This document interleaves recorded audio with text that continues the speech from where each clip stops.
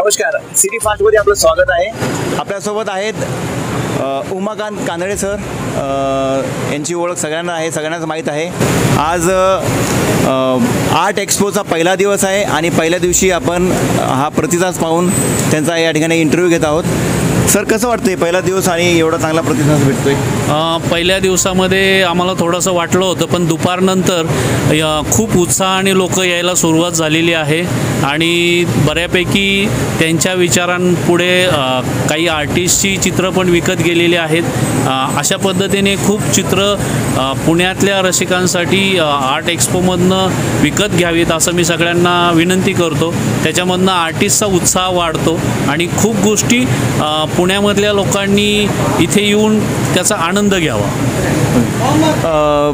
सरांनी आव्हान केलेलं आहे की पुण्यातल्या सगळ्या नागरिकांनी एक्सपोचा आनंद घ्यावा. सर नवीन पिढीने काय करायला पाहिजे? या कुठल्या दृष्टिकोनातून पाहायला पाहिजे? मला वाटतं पुणे हे विद्येचं विद्येचं माहेरघर आहे आणि सांस्कृतिकचा वारसा पुण्याला आहे. त्यामधनं चित्रकला हा एक पुण्यामध्ये थोडासा डेव्हलप होतो आहे आता हळूहळू. पुण्यामध्ये आर्ट गॅलऱ्या वाढत आहेत पुण्यामध्ये कॉलेज जास्त आहेत आर्टची. विद्यार्थ्यांची संख्या जास्त आहे. पुण्यामध्ये आर्टिस्ट भरपूर आहेत. त्या त्या पद्धतीने पुण्यामध्ये आर्टसाठी हे पुणंसुद्धा आता डेव्हलप होत आहे. आणि याच्यामध्ये त्यामधनं पुण्यातले आर्किटेक्ट असेल इंटेरियर असेल त्याच्यानंतर विद्यार्थी असेल इथं त्यांनी येऊन काही गोष्टींचा आनंद घ्यावा. तर सरांचे विचार ॲक्च्युअल सगळ्या पुण्यासाठी आहेत.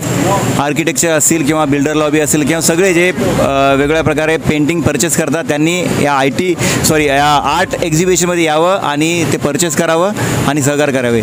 सो थँक्यू सो मच तुम्ही पाहतात सिटी फास्ट थँक्यू